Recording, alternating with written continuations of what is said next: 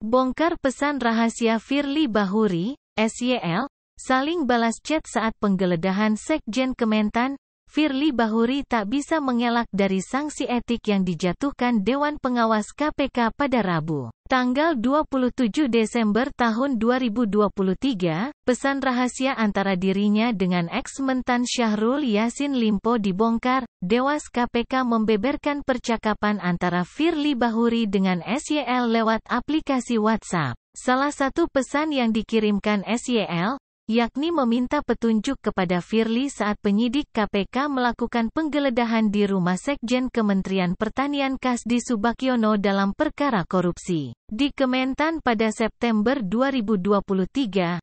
Hal itu tertuang dalam fakta persidangan etik Firly Bahuri yang dibacakan Dewas KPK pada Rabu, tanggal 27 Desember tahun 2023, kemarin.